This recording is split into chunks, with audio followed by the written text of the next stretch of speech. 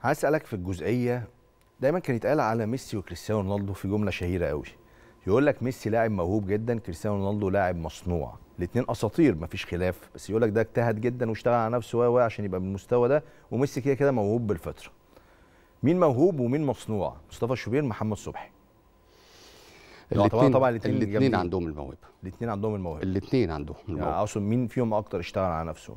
اللي اشتغل على نفسه أكتر آه، بيتهيأ لنا في الفترات السابقة كان محمد صبحي. إنما الاثنين عندهم الموهبة وعندهم موهبة كويسة جدا.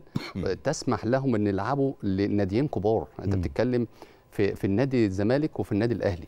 ناديين مش أي حارس مرمى يستحمل الضغوط الجماهيرية اللي يلعبوا فيهم. مم. مش أي حارس مرمى يقدر يشتغل مع تيم كبير زي نادي الزمالك أو النادي الأهلي.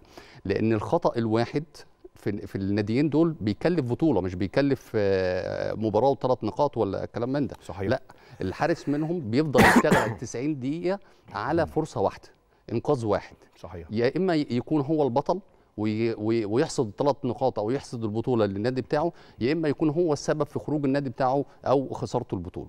فطبعا ده موضوع آه، لا آه، مهم جدا إن إن حارسين يوصلوا هذه المرحلة اللي يلعبوا لناديين كبار إذا كان في الدوري أو في أفريقيا لا طبعا يستاهلوا إن الاثنين موجودين عندهم موهبة.